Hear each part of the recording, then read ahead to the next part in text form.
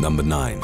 Texas City Disaster The 1947 Texas City disaster culminated in one of the most powerful non-nuclear explosions in recorded history.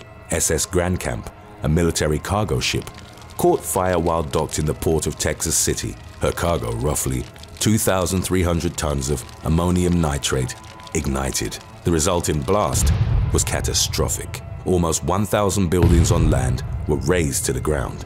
Nearly seven tons of the ship's steel was blown away in a rain of incandescent shards, some of which traveled at supersonic speed. The blast was so powerful that the Grandcamp's anchor was hurled across the city.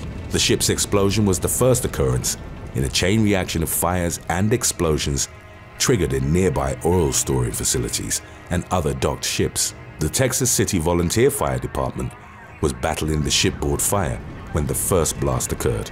All but one member of the 28-man department was killed. Three out of four members of the Texas City Heights Volunteer Fire Department also lost their lives. All four Texas City fire engines were turned into mangled, burnt husks. Ultimately, roughly 200 firefighters from as far as Los Angeles joined in the effort to bring down the blaze. Fires kept burning up to a week after the initial explosions, while recovery of the bodies took nearly a month. With at least 581 casualties, the Texas City disaster is considered the worst industrial accident in American history. The scene left behind by the explosion was compared to the aftermath of the Nagasaki atom bombing. Number 8. Siberian Smoke Jumpers In 2012, a wildfire broke out in a forested area of the Republic of Tuva in southern Siberia. Because of the remote location, a team of 14 firefighting paratroopers, commonly known as smoke jumpers, was dispatched from a forest security airbase. They were equipped with backpack fire extinguishers and small power pumps. After they reached the ground, their mission was to control the blaze, which was expanding rapidly because of strong winds. Unfortunately, only six of the paratroopers survived. The others became trapped, surrounded by inescapable walls of fire. In the tragedy's aftermath, flags were flown at half-mast all over Tuva. A Siberian emergency center reported that the blaze was a consequence of irresponsible fire handling practices by the region's inhabitants. Number 7. 2015 Tianjin Explosions In August of 2015, a series of explosions ravaged a container storage station at the port of Tianjin, the largest port in northern China. The most intense of the explosions involved the detonation of about 800 tons of ammonium nitrate, which is a rough equivalent to 256 tons of TNT. The resulting fireballs rose hundreds of feet into the air. The event was powerful enough to be registered by earthquake measuring equipment, as well as by a Japanese meteorological satellite. Fires caused by the initial blasts burned from the 12th of August into the 15th, when eight more explosions occurred. Over 1,000 firefighters were dispatched to the site, and some were caught by the high-intensity blasts. Others perished while tirelessly combating the blaze. Out of the 173 registered fatalities of the Tianjin explosions, 104 were firemen. 11 police officers also perished in what's been described as the worst incident for the country's frontline responders since the founding of the People's Republic of China in 1949.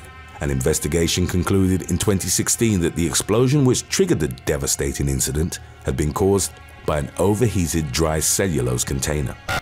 Number 6. Bombay Dock Explosion On April the 14th of 1944, the SS Fort Stikine freighter exploded at Victoria Dock in Bombay, present-day Mumbai. It was carrying a mixed load which included roughly 1,400 tons of explosives, such as torpedoes, mines, and shells. A fire broke out on the ship, and dockside fire teams, assisted by fireboats, pumped about 900 tons of water into the vessel.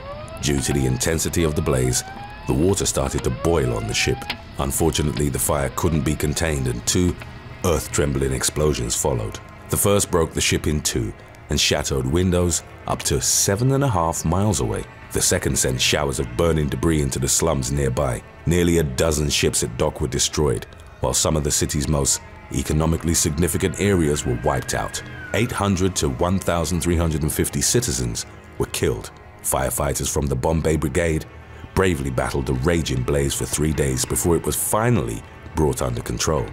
71 firefighters lost their lives while relentlessly working to save the citizens of Bombay, of whom an estimated 50,000 were abruptly left homeless. The headquarters of the Mumbai Fire Brigade has a memorial honoring the firemen who died. Number 5. Great Fire of 1910 In 1910, on the weekend of August the 20th to 21st, one of the most catastrophic wildfires in the history of the United States broke out in North Idaho and western Montana, which extended to parts of Washington and British Columbia. The winter and spring of that year had been extremely dry and the summer unprecedentedly hot. Up to 3,000 independent fires emerging from various sources were burning by mid-August. Then on the 20th, hurricane-level winds grouped them into one or two enormous blazing infernos. Firefighters from the US Forest Service heroically combated the monstrous firestorm, which was virtually impossible to control with the resources the service had at the time. Three million acres eventually burned down, an area one and a half times larger than the island of Hawaii. Smoke clouded the sky hundreds of miles out into the Pacific Ocean.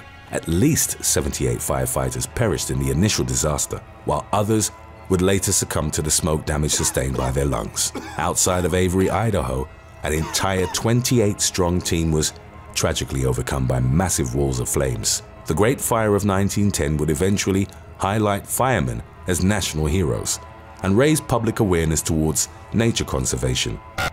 Number 4. Kingman Explosion On July the 5th of 1973, a powerful explosion occurred in Kingman, Arizona, which led to the death of multiple firefighters. A railroad tank car was transporting propane when a hairline crack in its structure caused a leak. Static electricity then generated a spark, which ignited the leaking gas which was odorless. The railroad car basically became a giant blowtorch. The liquid propane inside started to heat up rapidly, thus increasing pressure inside the tank. The Kingman Fire Department arrived on site and prepared a deluge gun, a high-capacity water jet, with the intention of cooling the car. Tragically, they'd never get the chance to use it. The tank reached its bursting limit and the car exploded. In an instant, thousands of gallons of boiling liquid propane turned to gas due to the sudden pressure drop and simultaneously ignited. A fireball roughly 1,000 feet in diameter rose to the sky and the explosion's shockwave was heard and felt across a five-mile radius. Three firefighters perished instantly while eight others succumbed to their burns shortly thereafter. A state trooper and a railroad worker were also killed in the explosion, while up to 90 onlookers who gathered on the highway were burned or injured. Number 3. Chicago Union Stockyards Fire In December of 1910, a fire broke out at a warehouse of the Chicago Union Stockyards. First reported in the early hours of December the 22nd, the fire was rapidly listed as a four-alarm blaze, meaning that multiple units were required to control it. By the morning of December the 23rd, when the fire was put out, seven hook and ladder companies along with 50 fire engine companies had been called to the scene. The most tragic incident involving the massive firefighting effort was when a flaming building collapsed, killing three civilians and 21 firefighters, including Chief James J. Horan, who were all inside it at the time. In 2010, a memorial was raised near the location of the fire to commemorate the heroic firefighters who perished in the disaster. Today's topic was requested by Peter Germin. If you have any other topics you'd like to learn about, subscribe and let us know in the comments section below. Number 2. Mann Gulch Fire Smoke jumpers are the tip of the spear when it comes to remote wildfires, as they provide a vital initial attack. It's a dangerous trade that combines parachuting with firefighting in rough terrain and sometimes against overwhelming odds. On August the 5th of 1949, a team of smoke jumpers parachuted to a valley in Montana's Helena National Forest, where a wildfire had been reported. The 15-strong first response team met up with a former smoke jumper who worked as a fire guard at a campground in the Mann Gulch area. With each of them carrying almost 100 pounds of equipment, the brave firefighters closed in on the raging blaze. As they did so, Sudden high winds caused the fire to expand rapidly. The smoke jumpers were forced into an uphill retreat. A blow-up of the fire then covered 3,000 acres within minutes. 12 smoke jumpers and an additional firefighter were caught in the flames. It would become the fire with the greatest toll of smoke jumper deaths. The youngest member of the crew, 17-year-old Robert W. Sallee, was among the three survivors after it had spread to 4,500 acres. 550 men worked for five more days before the Mann Gulch fire was finally brought under control. Number 1. Great Kanto Earthquake Firestorms Aside from tsunamis and landslides, the horrors involved in the Great Kanto earthquake were also marked by enormous fires. On September the 1st of 1923, the Kanto Plain on the main Japanese island of Honshu was struck by a 7.9 earthquake. It occurred during lunchtime while people were cooking meals over fires. Uncontrollable blazes broke out immediately after the earthquake and, at the same time, a strong typhoon brought high winds to the Tokyo Bay.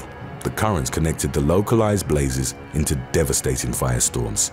In downtown Tokyo, a depot was struck by a catastrophic fire tornado. About 38,000 people who'd taken shelter there were incinerated within minutes by the flaming vortex. Firemen were dispatched all over the city, and a number of them fell victims to the inferno that had gripped Tokyo. The earthquake had broken water mains all over the city, which complicated their fight against the blaze. It took two days of continuous work in hazardous conditions before the fires were put out. There isn't a reliable figure for the total number of firefighters claimed by the disaster, which yielded by most estimates up to 140,000 fatalities. Thanks for watching. Be sure to click on one of the links on your screen for more videos.